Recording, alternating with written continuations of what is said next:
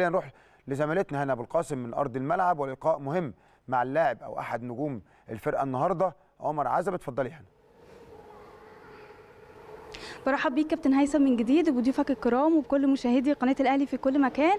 ومعي في هذه اللحظات نجم النادي الأهلي لاعب عمر عزب. يعني طبعا في البداية ألف مبروك الفوز النهارده. الحقيقة عملتوا مباراة كبيرة جدا يعني برغم إن كان في عديد من الغيابات لكن قدرتوا تحسموا المباراة لصالحكم. طبعا الحمد لله يعني كل الشكر لزملائي طبعا على المجهود الرهيب إن إحنا نغطي طبعا الناس يعني اللي إحنا الإصابات الكتيرة اللي إحنا مش معانا الناس الكتيره يعني عندنا مثلا خمس أربع إصابات في positions كتيرة. مجهود زيادة لازم نعمله دفاعيا وهجوميا بنعمله إن إحنا نعوض الغيابات دي. والحمد لله ربنا كرمنا الحمد لله.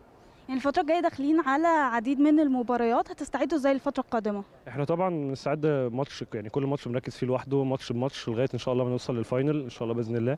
بس إحنا يعني على طول بنشتغل على ماتش ماتش إحنا بنلعب جمعة واثنين فطبعا ماتشات في وقت قصير جدا فإحنا بنحاول إن إحنا نركز نخلص الحمد لله إن ربنا كرمنا النهارده. هنبص إن شاء الله من بكرة على طول على الماتش اللي بعده إن شاء الله.